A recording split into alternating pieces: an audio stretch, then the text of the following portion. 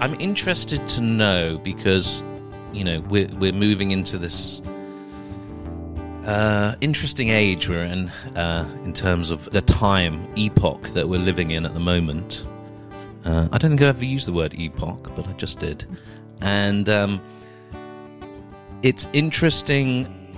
You know, you've been very successful as a female magician, and I think I hope that it's becoming less about you being a female magician and more about you just being a magician. Do you think that's happened at all?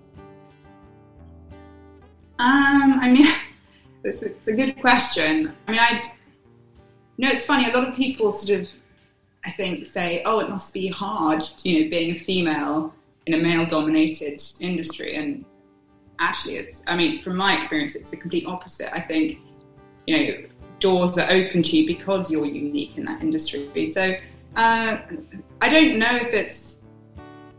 I don't know if it's something that I can sort of say step away from but I think it's all very well, you know, being a certain person, but at the end of the day, you still have to deliver the goods. And if you can't deliver the goods, doors might open to you, but unless you can step up and and perform and do what you're supposed to do, then it's you're not going to stay there anyway, and they'll soon, you know, find someone else.